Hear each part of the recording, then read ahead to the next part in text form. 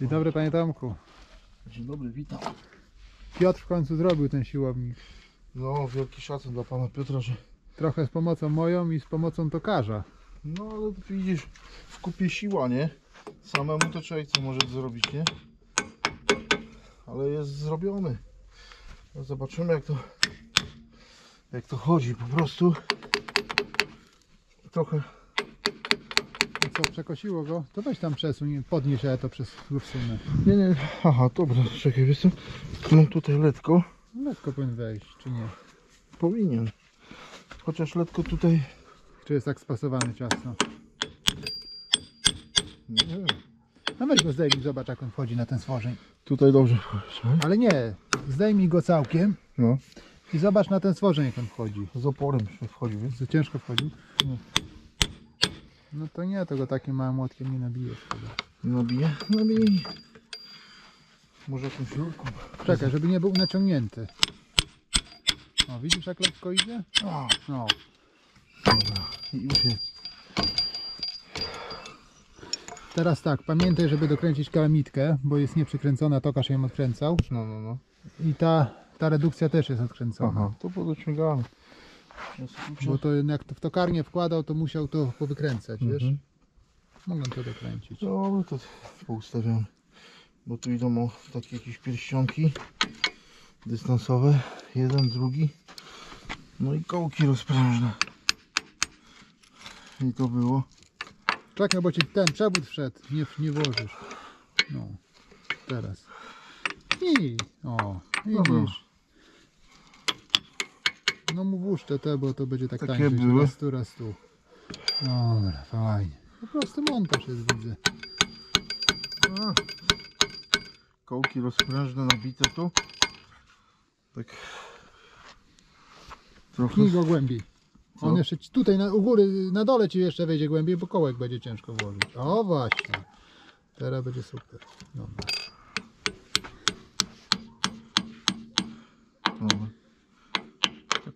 Luźno wesz, wszedł. Może było odwrotnie.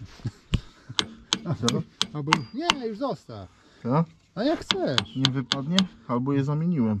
No właśnie mówię o tym. Nie wiem, ale tak letko w sumie wyszedł. Albo już po prostu się wyprężył. Albo się wyprężył. Już się zgniótł. Przez... No też mógł się zgnieść. Albo po prostu jest minimalna różnica w otworach, chociaż to wątpię, ale może być. Jak tamten wszedł ciasno, no wybij, wbij tego tamtym. Tomek, przebij je. No, no to przebij. Możemy przebić. Chociaż patrz, tutaj. Ten chyba mocniej siedzi.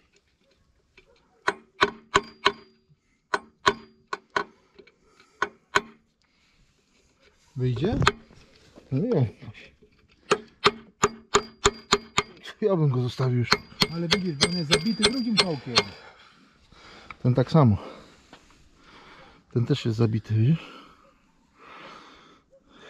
Trzeba kupić nowy. Nie, na razie tak włożymy go. Bo można zwykłą zawleczkę, tylko wiesz jak to z tymi zawleczkami. Nie no, kołek Ostatnio taki, zgubiłem taką zawleczkę. taki kołek ci stąd nie wypadnie. Zobaczymy. Jeździć, obserwować.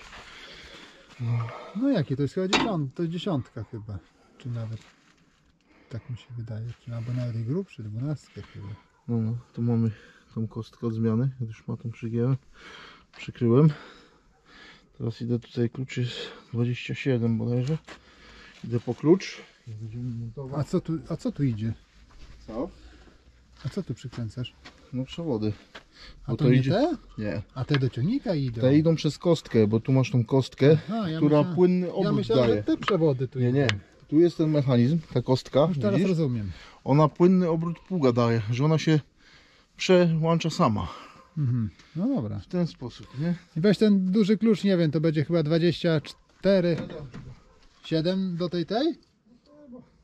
Tak A. podejrzewam do... A, do tej dużej? No, ma- mam tam tylko tego Szweda, wiesz? Od razu przy okazji nowe przewody. 385 barów? No. Albo patrz. Ale to na wzór były zrobione, tak? Tak, tu masz stare węże, nie? Zobacz, tu jest o. No, one już takie widzę są sparciałe. Tak, dlatego jak byłem tam chłopaków po te uszczelnienia, to mówię, doróbcie mi węże. No nie mówię, to zostaw z tego, to ci dorobimy. No i dorobili, nie? No ładne teraz takie, Nie no, ładne napisy mają. jak nówki, nie? No to są nówki.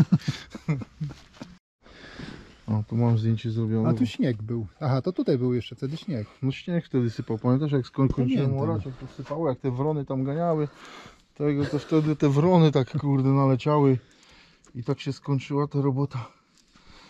Dobra, czyli tak, A, dłuższy wąż, ale że to ci nie ciekło wcześniej tutaj? gdzie? Nie ciekł ten siłownik? jak- Nie, nie ciek, ty jak go, A, bo nie będzie ciekł. jak ja postawiłem go, widzisz, ja go postawiłem kurde twoim ciągnikiem, tu 902, postawiłem go w bok. Nie, on ci nie ciekł. Nie, chodzi o to, że nie ciekł. Nie zapowiadało się, że to się rozleci. Bo No. nie będzie ciekł. Bo ta uszczelka jest tam w cylinder głęboko włożona. Na tej śrubie, na samym początku. To dopiero zaczęłoby cieknąć, jakby ona wypadła. Mhm. Samo poluzowanie jeszcze nic, nic, nic w dławicy nie. Samo poluzowanie dławicy nie spowoduje, że to będzie ciekło. Nie, nie, wtedy powiem Ci, że ta dławica wrzuciła na miejsce, bo ja ściągnąłem, no, ściągnąłem tą dławicę e, na pasie, pług pu- postawiłem, wiesz, jak przyjechałem, to on w dziwnej pozycji ten pług był, wiesz, Mhm. To mamy ciach, a teraz tutaj łapiemy,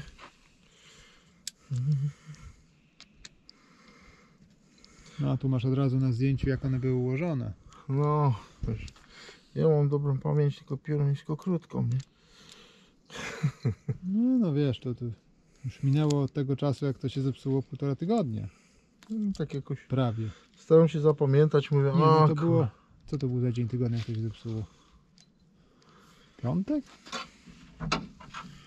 tak mogło być. Sobota to było. Bo tak to była sobota. Nie.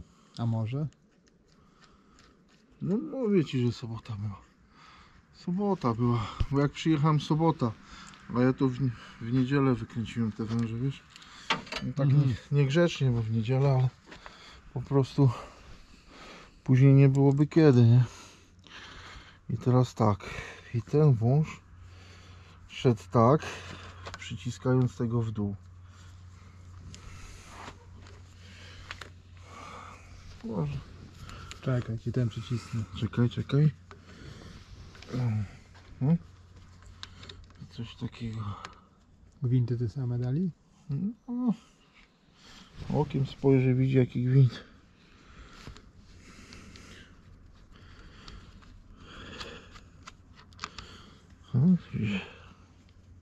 Teraz ci dopiero złapię. Teraz tak, no. I czekaj, przyjrzyj mi się jak te węże szły.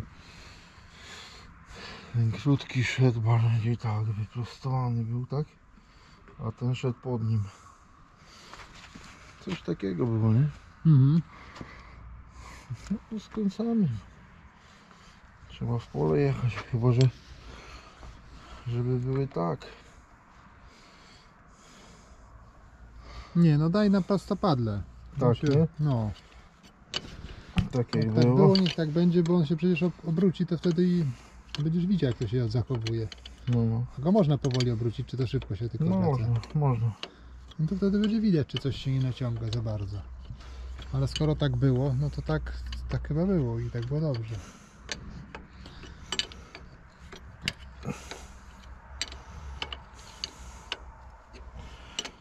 To było tak na wprost ustawione. Tak na wprost właśnie. Zrobimy tak samo. Wiesz jakie tu ciśnienie idzie? Tu w pulsusie jest gdzieś około 170 bar. A w zachodnich ciągnikach jest coś ponad 200. O i to teraz nam się ustawiło tak jak było pierwotnie. Widzisz Wacek? Mhm. Nie wiadomo, czy tak do końca jest to dobrze zrobione. Nie wiem, tutaj tak przez było, ale te przewody tutaj je ob, obtarło, nie? Mhm. Tutaj nie, tylko tu, nie? No zobaczymy Może Wacek, tak być. bo ten siłownik się w końcu podnosi do góry. No zobaczymy. Jak urwiemy wąż, będziemy stali z powrotem przykręcać. Żartuję. Powinno być dobrze, dlatego zrobiłem zdjęcie. Żeby się przypatrzeć. No bardziej logiczne by było, żeby ten wąż był tu u góry, nie? Nad górą szedł, no ale No ale zobacz jak było. no widzę jak jest. Mogę dać to górą. Nie, no zostaw tak. Będzie widać jak się będzie obracać, czy czasem... Ale on się podnosi też w dół i w górę, nie? Zobaczymy. Jak nie, to to jest nie problem przełożyć. Tylko, że wtedy już olej się nam poleje, bo tam w tłoczysko oleju nam napompuje. A, bym kupił czwartą skibę do tego pługa. A da radę? On jest Tak. przewidziany na coś takiego? Tak, bo to jest trójka, nie? I tam dokręcasz trzecią skibę, tak jak jest ten e, krój, jak jest odkręcony krój, nie? Mhm. Krój gdzieś tam u brata leży. I po prostu dokupiłbym, to by wtedy i brat orał nim, nie? Większym ciągnikiem, nie? Tylko skibę by dorzucił i jakby było, nie? Może ktoś ma taki ten, to jest pług LD LD 100 A tego się nie da dokupić. nowego. Nie wiem, patrzyłem na Oliksie jakiś czas temu. Było. Miałem po to jechać. Ktoś tam 3,5 tysiąca chciał za tą trzecią skibę, nie? Hmm, czwartą. Raczej mówię trzecią, czwartą. Ale ale teraz patrzyłem jakiś czas temu, już tego nie ma. Może jeżeli ktoś ma do takiego pługa czwartą słupicę, całą kompletną, Mhm. to dajcie znać w komentarzach albo do Wacka piszcie. Jeżeli będziecie mieli taką, to po prostu zakupimy czwartą skibę. Wtedy New Holland będzie mógł ciągnąć, tylko wtedy tą belkę trzeba by było wymienić na trzecią kategorię, coś brat mówił, bo to jest druga kategoria tych schoźni, że ta belka wtedy by była potrzebna tutaj mocniejsza, nie? No tak jest, no. Dobra, mamy tu węże połączone. Tutaj też myślałem, wiesz, bo te węże dwa już zakuwałem, wymieniałem. Raz rozerwałem go coś tutaj, dlatego tutaj na te trytki do tego spożnia Mhm. przymocowuję. Tak, jednego tak tutaj gdzieś skubię, gdzieś widziałem. A tutaj jeszcze nie ma tragedii, ale może izolacją owinę? Albo No, jakiegoś węża. W którym miejscu się to skubie, może jest źle poprowadzony. No albo wiesz, wcześniej mi się wydaje, że skubało jak było wysunięte to za to, wiesz? A, o pół się darło. Eee, darło pług. Dobra, tu mamy. Musimy teraz ustawić tutaj go, żeby się nam obracał, tak? Dobra. Weź jeszcze klucz siódemkę tutaj i- i tą kalamitkę dokręć. Aha. Siódemka, klucz. Jest coś takiego jeszcze tu? No nie, to jest szóstka. Nie, no to nie jest szóstka, ten drugi to Dziewiątka, będzie siódemka. dobra, dziewiątka. Przepraszam, Coś ten pewnie jest siódemka. to jest siedem. O ile to jest na siedem. No i chyba ósemka. A nie, to będzie dziewiątka. One są takie albo jedenastka, albo dziewiątka. Nie wiem dlaczego smarowiczki mają takie, nie wiem, nie, nie, nieparzyste numery, wiesz? Albo 11, albo No, 4. żeby wszystkie klucze miały wykorzystanie w komplecie. Najczęściej w kompletach to zawsze brakuje. Jak idziesz, szukasz klucza u kolegi w szafce, idziesz dziesiątki, nie ma dziesiątki. Idziesz trzynastki, nie ma trzynastki. Szukasz siedemnastki, też siedemnastki, nie ma. Dziewiętnastki też nie ma, nie? Wszystkie takie, No, no to są śruby no. najbardziej popularne. Szóstki, ósemki, dziesiątki, dwunastki. No tak. W rowerze klucz 15, klucz 11 często stosowany. 9. No. Dobra, to mamy. Musimy teraz po prostu cofnąć tą śrubę. Mam tego szweda. Wiesz jak to ustawić? Nie wiem, na oko. Widzę, że tu cały gwint był, wiesz? Tę deskę chociaż pan... No tam Piotr za dużo tego nie wkręcał. Mógł trochę głębiej wkręcić, jak miał klucze odpowiednie. Chociaż No ale też. tego kołka nie było rozprężnego tutaj widać. A to to było prawie całe wkręcone. Tak mi się wydaje, że to było do końca wkręcone. No ale No to trochę jest kręcenia po kawałku. No to tak letko się nie kręci. No bo tam jest o-ring. Aha. I ten o-ring robi taką samą kontrę w tym, tak? No żeby to się samo nie przejmie, wiesz. Może tu i bez o-ringu by ciężko szło, jak jest gwint przeciągnięty, nie? Mm. Ale jakby było nowe, to mogłaby ta nakrętka od, od samych wibracji się kręcić. Żeby Widzisz, przedstawiała pług. Nie dane było mi to widzieć, widziałeś, czeka była sytuacja, wróciłem do pracy. Tam Piotr mówi przywieźcie, ja to zobaczę. No to nie widziałem tego, ty więcej zrobiłeś ten siłownik niż ja, no i pan No. Piotr, no i ten pan, pan Tokarz, pan Leszek, tak? Mhm. Zrobić taką nową dławicę, no to No trzeba trzeba mieć w tym, też umiejętności w tym cylindrze trzeba było gwint też zrobić większy. No i gwint większy. Zgadza się. Jak to złapać, to po prostu taki kurczę w tym w tokarni siłownik, nie? No ale jakoś to ludzie robią, nie? No, udało się. To jest drobny gwint, strasznie widzę. Kręcę i kręcę. On się przysuwa? On się załapał? Nie wiem. Patrz, a może lewy gwint? Cześć, kręć. Kręć. Nic się nie dzieje. No, tak myślę, że to w ogóle nie jest załapane. Tomek, Piotr miał rozgrzewkę jak to rozkręcał. Ty masz O. rozgrzewkę jak to przykręcasz. No, powiem szczerze, że ja chyba mam mniejszy klucz od pana Piotra. Ale, no kurde, tam zaparcie jest.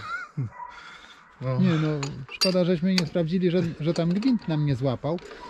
Bo nam nie złapał tu gwint, się okazuje. Na ringu no stanęło. ale, ale wybadaliśmy sytuację.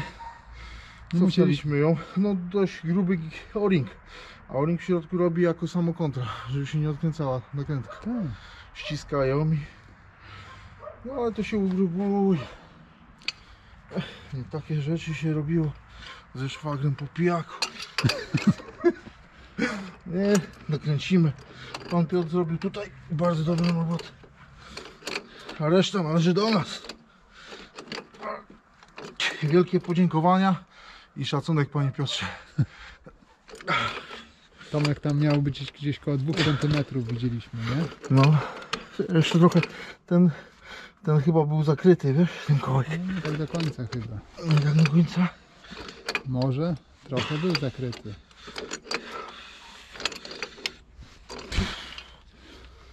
I co teraz mówi, że przy każdym obrocie ta nakrętka wali w tą ławicę w siłownik? I się opiera o to? Chyba cały... Patrz, bo tu masz regulację pługa na tym, nie? No, Tu masz kąt regulujesz. Na tym, e, na tym ramieniu. Jak to się obraca w drugą stronę, tak samo jest na tym ramieniu. Czekaj, czy jest drugie ramię? Nie, to jest to jedno. No tak mi się wydaje, że uderza. Ale tam nie było śladów tej nakrętki na dławicy, no czy nie było? było, ale bardzo dużo obciążenia siłownik przyjmuje. Może to trzeba tak ustawić, głęboko wkręcić, żeby to akurat nie uderzało. Czekaj, Widzisz, teraz- teraz, teraz uderza. Jeszcze uderza. No, zobaczymy. Dokąd, do którego momentu ta d- dławica, znaczy ta nakrętka. No, no i jeszcze centymetr możemy wkręcić. Ale Tomek, O, to się jeszcze daleko wkręci. Pamiętasz, że jak żeś zakładał siłownik, no, to w ogóle się go nie dało włożyć? Co by miało to ograniczyć? Tu nie ma co ograniczyć tego. To tylko wisi przecież na tym. Tu nie ma nic więcej. Aha. No To, na jest siłowniku. to jest niezależne od tego w ogóle. tak. Ja- Tak, to chyba siłownik stabilizuje to. Tylko siłownik to może zrobić. Coś mi się wydaje, że on jest za bardzo. On teraz tak jakby był prosto, nie? Pług, czy mi się wydaje. No to już wiesz, on jest w ogóle krzywo stoi na ziemi, nie? Zobaczymy jak to będzie się obracało. Delikatnie będziemy obracać. No. Najwyżej ten. Ja bym więcej nie dokręcał. Jak tak było, to tak zostaw. Później się zobaczy, co jest nie tak, w razie czego, bo będziesz miał pług inaczej ustawiony. No, no. Zobaczymy, bo podejrzewam, że ta nakrętka też jest regularna.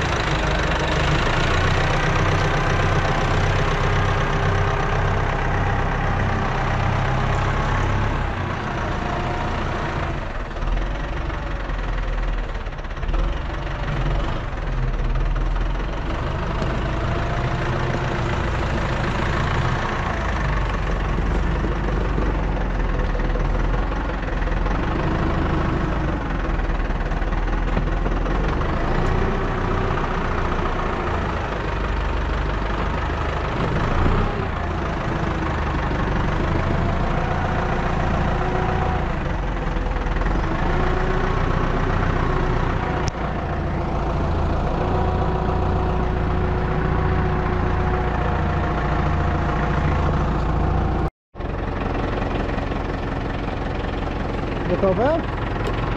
Gotowe, teraz będzie chwila prawdy wacek. No to jedziemy. Jedziemy? Do góry, tak? Do góry odjadę tam z przodu, żeby ciągnika nie uderzyć, jak będą wracał. dobra.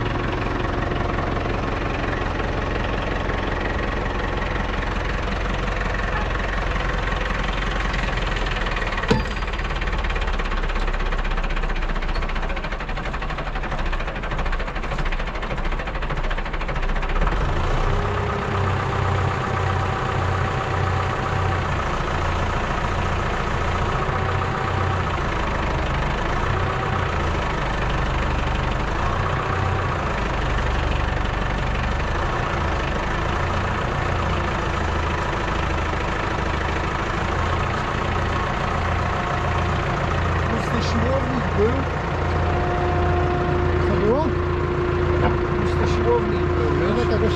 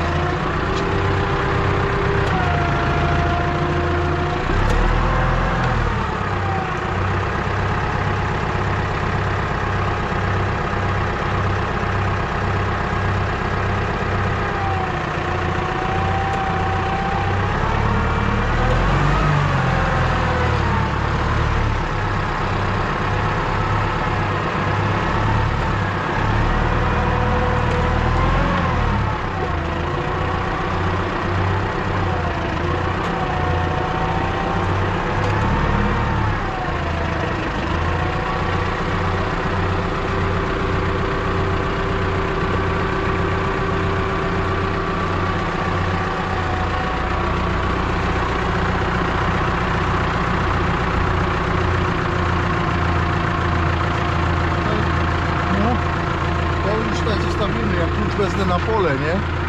Bo tą śrubą się ustawia tutaj kąt pochylenia orki, wiesz? no tak.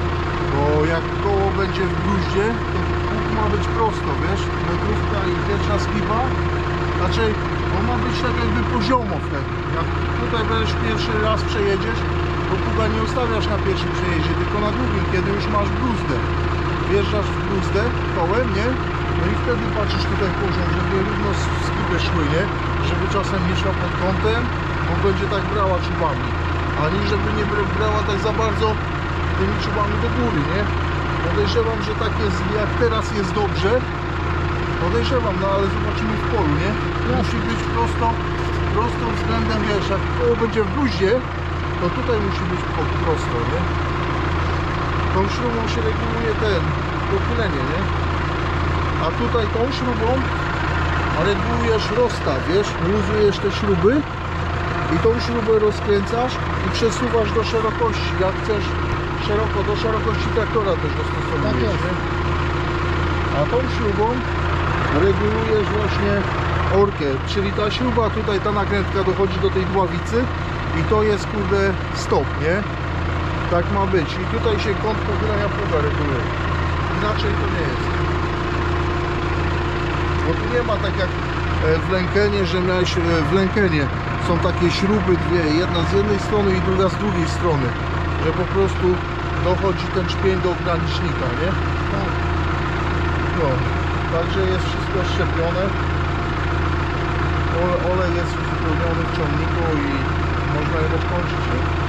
Jedziemy? Do rana zaoramy, do rana 10 hektarów na pewno. No, żeby tak człowiek kurde, następnego dnia nie miał obowiązków, to by pojechał kurde i by z ciągnika nie wychodził przez 24, ale masz uwiązanie, musisz wstać do pracy, dzieci ogarnąć, ty musisz iść do pracy, to tak się nie da. No, opony są już zamówione na tył. Widzowie, większość widzów wybrała Oskę, będzie Oska. Na kabata coś narzekali, a z przodu już są oski, także będą oski. Są troszeczkę może wąskie, ale z drugiej strony to jest Ursus, to nie jest jakiś ciągnik nie wiadomo co. A on jest dostosowany do takich opon, jak będą wąższe opony, no wiadomo, będzie bardziej topliwy, może bardziej będzie w polu grzebał, ale mniej będzie narażone sprzęgło, mniej narażona będzie skrzynia, bo po prostu jak o, szerokie laczki dołożysz, za szerokie opony, no to sprzęgło nie będzie wyrabiać, albo skrzynia będzie się sypać, coś będzie wpuszczać w, w takim najsłabszym miejscu, nie? Zobaczymy te oski. Z przodu już są oski, no to weźmiemy i z tyłu oski. Nie powiem, że e, budżet też nas ogranicza, nie? Bo nie kupimy opony jednej za 5000, wolę już kupić dwie, nie? Pirelli. Pirelli nie, Pirelli. Dętka była Pirelli, w Bizonie. Pirelli nie, ale tak o... Są bardzo dużo jest dobrych opon, wszystkie opony są dobre, tylko zależy od użytkowania.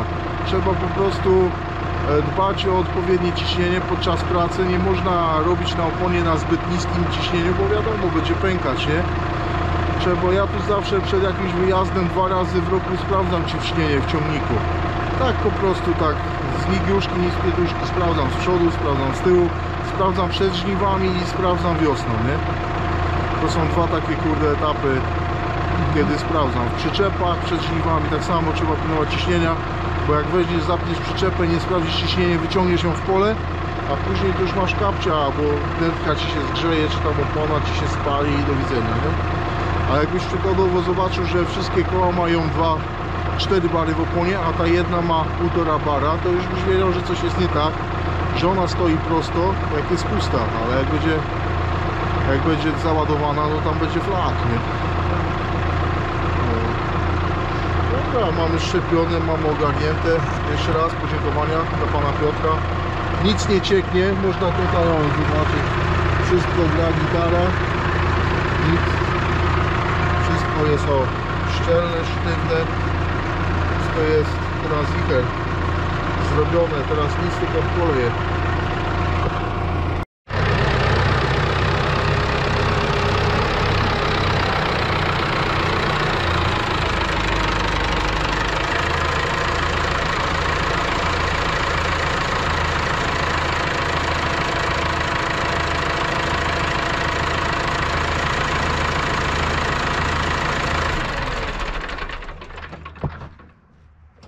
Nie?